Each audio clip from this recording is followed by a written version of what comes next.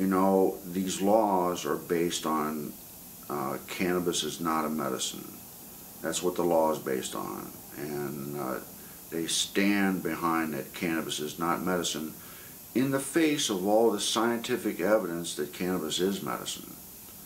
And so this is a war on drugs. And in a war on drugs, there must be some rules of the war on drugs. And if that's true, then there must be some people that are, that are violating the, the rules of war on drugs.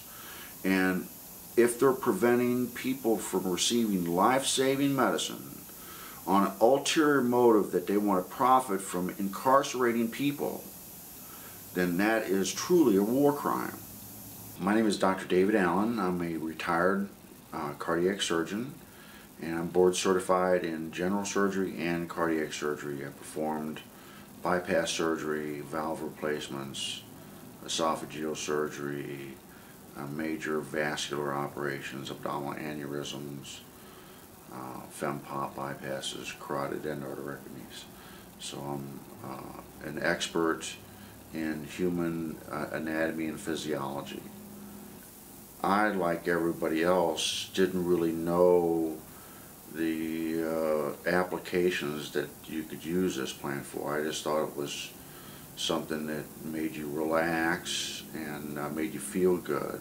But I didn't really understand its uh, medicinal properties um, until I became sophisticated enough to understand the pathophysiology and the mechanism of action of how cannabis works. Uh, the United States government has a patent uh, which was delivered to the Department of Health and Human Services in, in 2003. It's the patent number 6,630,507 and it's entitled uh, Cannabinoids as Antioxidants and Neuroprotectants.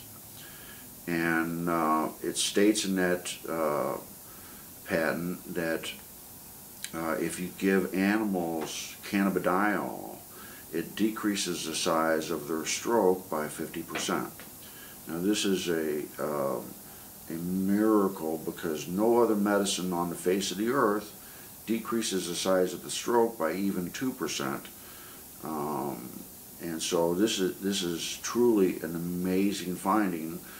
In the patent, they allude to uh, myocardial infarctions, heart attacks. Cannabis works by uh, stimulating cannabinoid receptors on your your cells of, of every cell of your body and they also work as potent antioxidants and what this means is uh, they they uh, scavenge oxygen free radicals so there's ample evidence that's irrefutable. Now cannabidiol is safe even when given chronically in large doses to humans and it doesn't get you high, it doesn't have any uh, euphoric effect. So they could easily be giving this, this medicine to patients that come into the emergency room with heart attacks, strokes, or even spinal injuries. And there's ample evidence that if they gave this medicine to people in the emergency room with these these illnesses, that they would have vast improvements in their outcome. Now, over 800,000 people have a stroke every year. And of those people, uh, 150,000 of those people die. The rest are left to live and suffer the uh, scourges of a stroke. And this amounts to a great uh, expenditure in health care, which could be alleviated by a medicine which is currently available in California.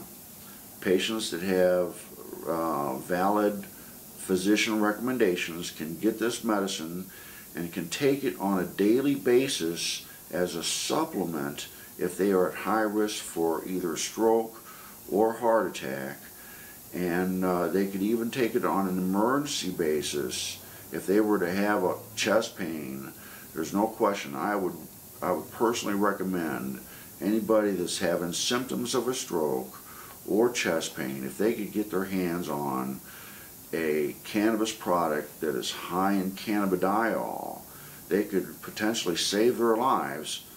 And this medicine is available now in California, and it is not available in Mississippi and other states where the lawmakers prevent sick and dying patients from receiving this life-saving medicine. Uh, so if you if you are at, at high risk for a stroke or, or heart attack, you should immediately contact uh, your uh, medical cannabis provider and uh, attempt to obtain a product with high CBD, cannabidiol in it, and take this orally uh, on a daily basis. And if you eat it, uh, if you eat the bud in its natural form, it will have full medicinal effect and not get you high at all if you, if you just eat the raw bud. So really cannabis is an essential part of the human diet. Uh, that's, that's an important concept I want people to take home with them.